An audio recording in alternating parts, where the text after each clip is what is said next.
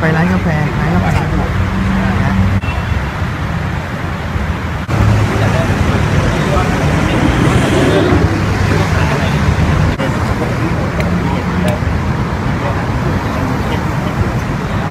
อ่าแสงไฟสะท้อนเนาะ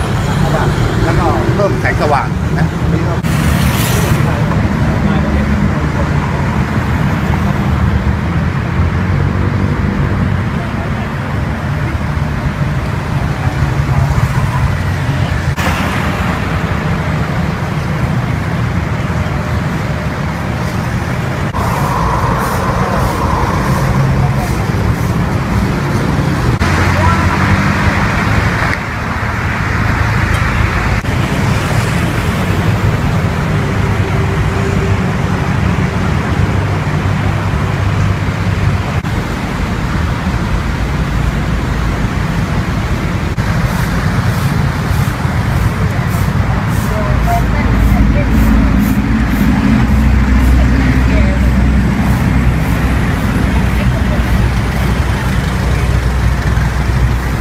เมื่อคนน่ะนะแล้วเรามีวิจะมีวิธีการช่วยชะลอรถก่อนมาถึงด้วยอะไรไหม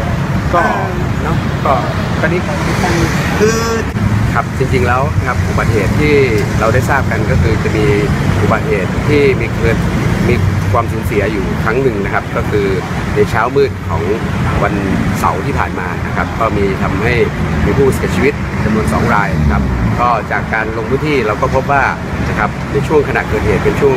อ่าเช้ามืดนะครับ ในส่วนปัจจุบันเรากำลังดำเนินการติดตั้งอุปกรณ์อำนวยความปลอดภัยเพิ่มเติมให้นะครับเพื่ออำนวยความปลอดภัยให้กับผู้ใช้เส้นทางครับ แต่อย่างจริงๆปัจจัยมันไม่ได้มาจากสภาพถนนอย่างเดียวถูกไหมครับถ้าถ้าถ้าว่ากันตามจริงแล้วครับมันอยู่ที่คนขับขี่ด้วยครับก็จะเห็นได้ว่านะครับเอ่อจากคลิปวิดีโอที่เราเห็นนะครับ ก็จะเห็นว่าเอ่อ ผู้ขับขี่ใช้ความเร็วเกินกฎหมายกำหนดด้วยนะครับ แล้วก็ในสภาพของเออการขับขี่ก็ต้องตรวจสอบกันว่าเอ่อผู้ขับขี่เอ่อมีสภาพเป็นยังไงบ้างครับ แล้วนอกจากจุดนี้ครับเราจะมีจุดอื่นๆ ที่เราจะอ่ามองว่ามันเป็นจุดเสี่ยง แล้วจะต้องมีการปรับปรุงแก้ไขเพิ่มเติมด้วยไหมครับครับก็ในทุกจุดนะครับเอ่อก็จะเป็นจุดเสี่ยงทั้งนั้นนะครับ ถ้าเอ่อเรา